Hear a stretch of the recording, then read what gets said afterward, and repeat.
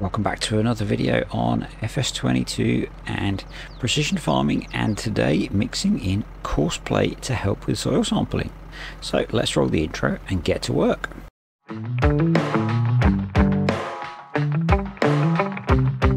So as part of the 7.1.14 update, the ability to use Courseplay to soil sample with precision farming was added in.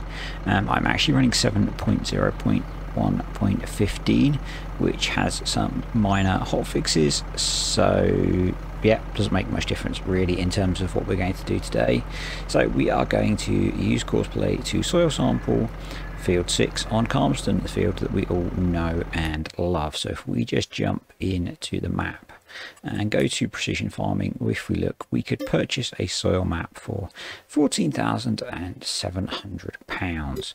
Um, and that would need 56 soil samples.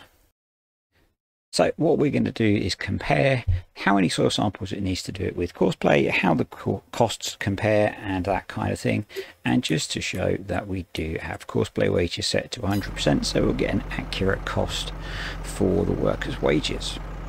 I guess you might be thinking, why would you do this? You know, not only financially, from my point of view, I like to see the map busy. And if I have a huge farm, I don't want to soil sample all of it, but it's quite nice to see tractors working in the fields, so maybe you're the same as me. Right, let's get to work. First we need to bring up the courseplay HUD, and that is a right click on the mouse. Um, we're going to clear that off, and so we have first waypoint selected. We're going to left click on no course to bring up the course generator, and leave working with and we only have one tool. If you've got multiples maybe you want to change that. Set it to one headland. Headland first. Sharp corners. This helps with missed bits in the corners of fields. Everything else leave as is and hit generate fieldwork course.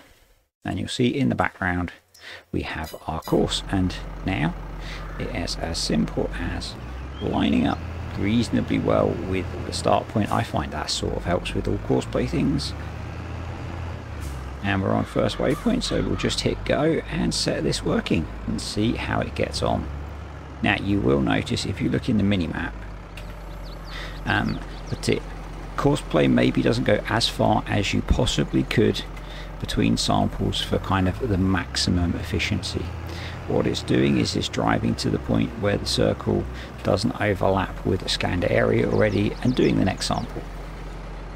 You oversample a little bit but you don't miss any field.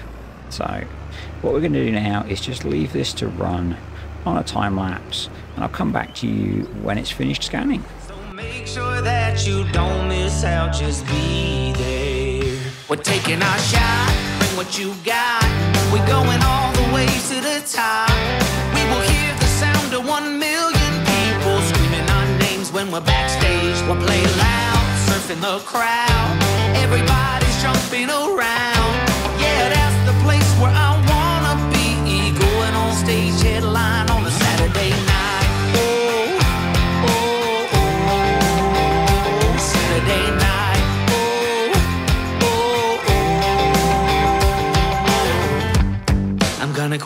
job. Never wanna have no.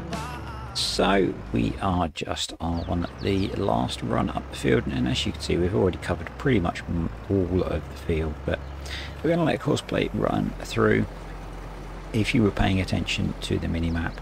As I said, you will oversample slightly, and you can see here we're probably wasting a fair few samples, but you know, I have just left this tractor to run around the field doing the soil sampling. I could have been off, you know, liming, fertilizing, doing whatever in another field, taking care of animals, and this guy or gal has for, scanned the field for me.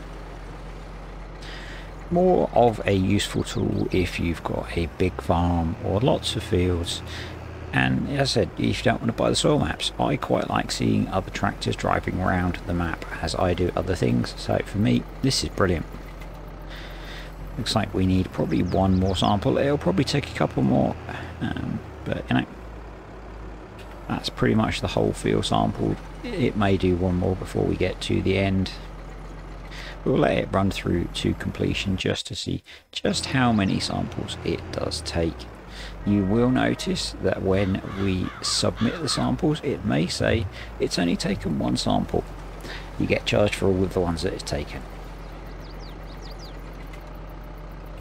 So there we go. So you can see it says one sample taken, but actually it has taken the required number of samples. So we can clear off that course. It's closing up the uh, sampler for us and we will send those off for analysis. And we'll see what it's going to charge us for the soil samples. And we'll probably get a bill for the worker in moment. I, uh, I have done some other testing on this map unfortunately so it's not so easy to tell what the workers wages are. So we'll just speed up time a little bit just until we get those samples back. There we go. So £6,600 on soil samples. And let's just have a quick look, see if we can work out what the wages were. Uh, actually, yeah, only £500 in wages, which is not too bad. So if we compare that to going back up to the precision farming menu and purchasing the soil map.